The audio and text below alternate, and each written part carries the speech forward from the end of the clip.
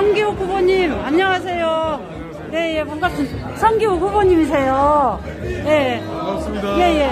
저희 이재명 당대표님께서 그때 당원전에서 당원들한테 송기욱 후보님을 꼭 당선을 시키라는 미션을 주셨거든요. 아? 그래서 왔습니다. 네, 예, 저는. 건강진 TV고요. 예. 요즘은 또 유튜브가 있어야 방송을 보고 또 하거든요. 아이고, 아이고. 예, 예. 아, 인사, 예, 인사를.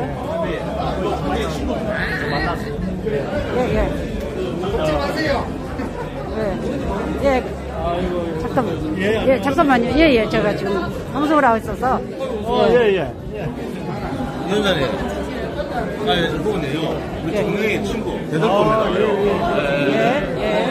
오, 맞습니다. 예, 성기우 화이팅. 성기우 화이팅. 몸 모양이. 와. 예. 와, 와, 더워요, 더워요. 예, 예.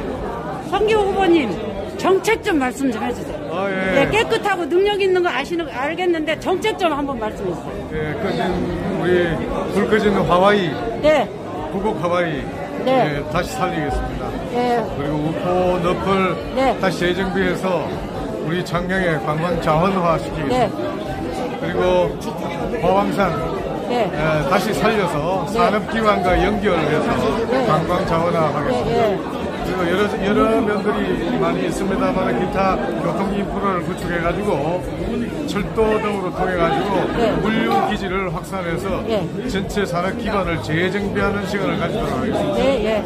어, 그렇게 어, 큰 축은 그렇게 세 가지로 예, 있습니다. 예. 주민복지 한 가지만 말씀해 주세요. 마음에 두고 계십니다. 우리가 주민복지는 그동안에 산업화되어 있는 기반을 확충하는 것이 아니라 주민복지 버스 무료 버스 운행이라든지 기타 어, 노인 수당 확대라든지 이런 거기에 여기에 여- 역점을 두고 있습니다. 아유, 너무 좋아요. 예, 예, 예, 예. 인사하셔요. 예, 예, 예, 감사합니다. 노인복지, 그 다음에 버스부, 예, 무료 버스 이런 거 생각하고 계신답니다. 와, 와, 와. 그 정도면 되는 거죠, 뭐. 예, 예. 예, 예. 꼭 중요해요. 예. 주-